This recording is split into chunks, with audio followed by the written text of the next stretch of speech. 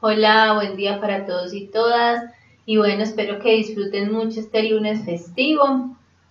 Es muy importante que tengan presente que en este lunes festivo nos acompaña nuevamente el amado Arcángel Gabriel y nos dice, estoy aquí para que despiertes, estoy aquí para que te hagas consciente, estoy aquí para que estés presente y te hagas cargo de tu existencia. Así que hoy en este festivo aprovechemos para meditar, hacer introspección, mirar cómo va nuestra existencia, el rumbo de nuestro camino. Si estamos viviendo en automático o estamos viviendo con conciencia. Un abrazo grande, lleno de luz y amor. Dios los bendiga. Chao.